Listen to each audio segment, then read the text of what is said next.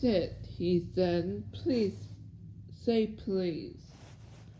Red immediately sat and gave a short, sharp bark. His tail now pounded in the ground instead in the air.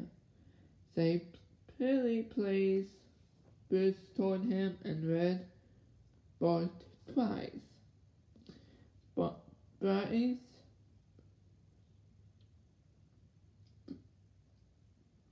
tossed the biscuit and Red leaped to catch it in midair. Feeding a biscuit to Red was like feeding a peanut to an elephant. It slid down his throat so fast that you knew he wouldn't have the taste in it. If you wanted to go running, you have to open the gate, Bruce said. But don't even think about doing that until I say the magic word. The past summer, when Red had pulled three of his leads rushed into traffic, Bruce's father had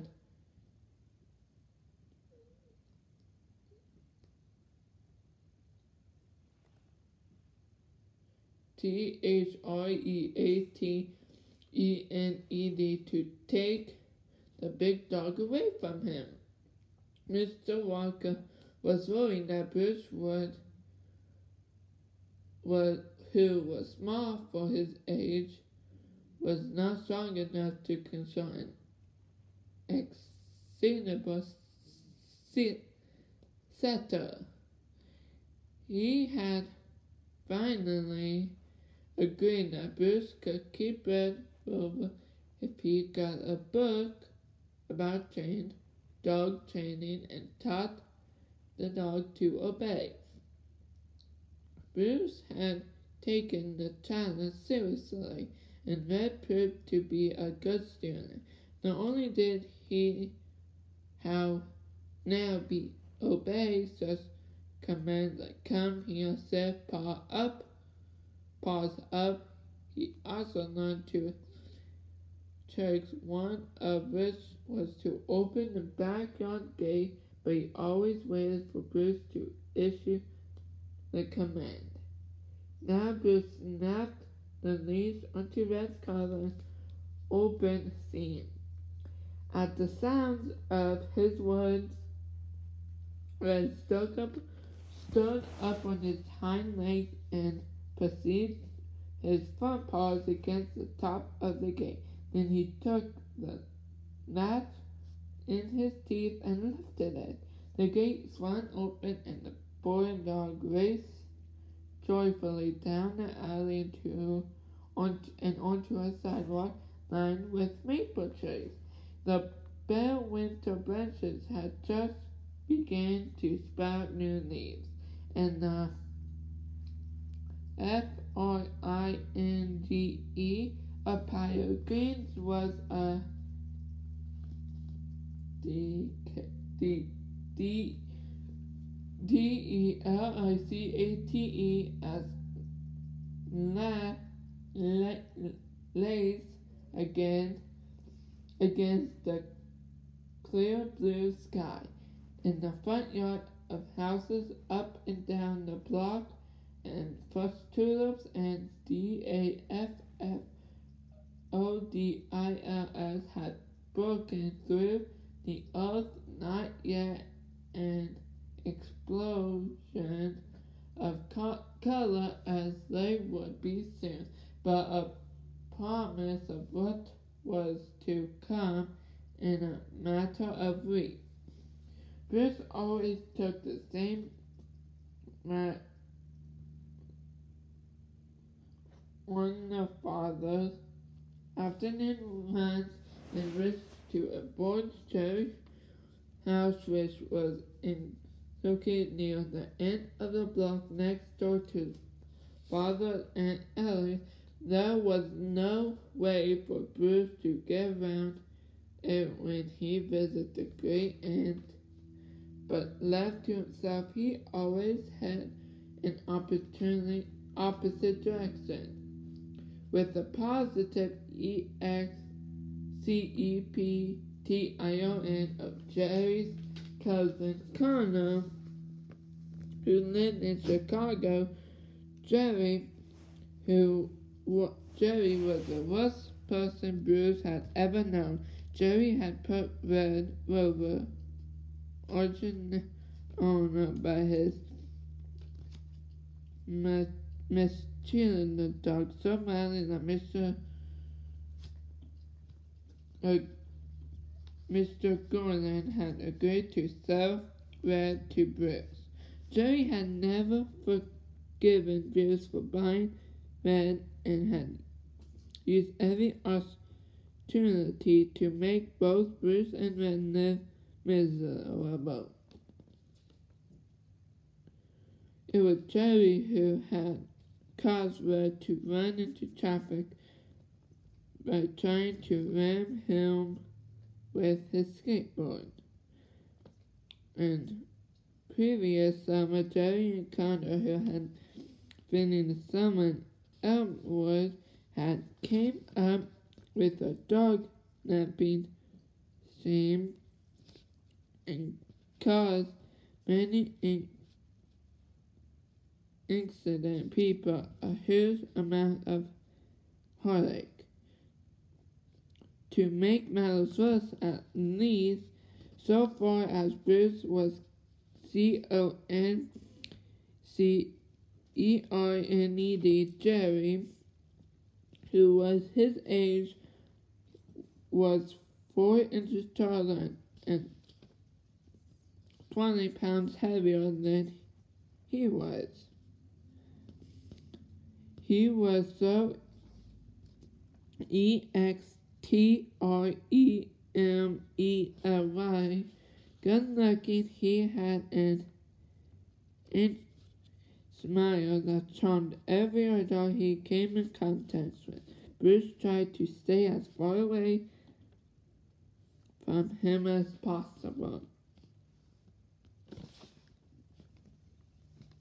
But why am I thinking about Joey now? He asked himself. Uh, T R A U M A T I C event of the previous summer were far behind him. Over the winter, he hasn't seen Joey much at all except at school when they were in the same English class. Now, as he ran with his dog in the bright April sunshine, there was no M E N A C I N G W H I R of skateboard wheels behind them to disrupt the peace and S E R E N I T Y of the glorious afternoon. Red was an element scratching his lean, lean, lean L E A N. Strong legs at the gallop with his long ears seen behind Shane mean behind him like a rusted bin- binoculars from very first moment Bruce had seen him. He had thought Red most beautiful animal in W O O I L D. They ran just for just over one mile before Bruce R E I N E D ran in and made him turn around so they could head for home. As they neared the house, Red picked up more speed than Bruce had strained to keep up with. As much as Red, Red loved uh, his out, outings, he also loved going home to gallop up his dinner. The backer gave stern open to Bruce said, Go to allow him to race inside. Then he entered the yard himself and locked the gate behind him. When he returned to the face the house, he was surprised to see Anna sitting on the back steps. Her dash hound, Babe, Babe, Babe, was drap, dropping across her knees like a dark, sharp blanket. The envelope from the public house laid open at Andy's feet, and she was holding the letter as if it were burning her fingers. I couldn't wait until dinner to open it, she said. I'm glad I didn't because it wasn't what I thought it was. Bruce went over and sat next to her on the steps. He had never seen his sister look D E J E C T E D. You didn't win? It was a statement rather than a question. I know your disappointment, but there's always next time. They probably win the contest against next year. Next year could be about cats, and said. Uh, Bruce could think of nothing to say to comfort her. Annie was not a cat lover. She could not imagine her writing a book about cats. It came in second, and he said, Now, sending my M A N U S C R I P T back in a separate envelope so they could include a C E R T I F I C A T E.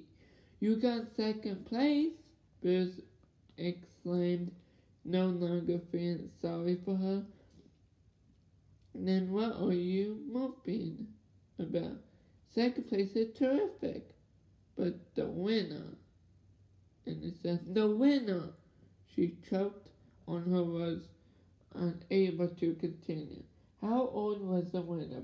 Said, 14 two years older than you. So what? Can you expect the winner had two more years to practice writing stories? It isn't the age that matters, and he says, M I S E R A B L Y. The other thing is the first place winner is Gary Goldman.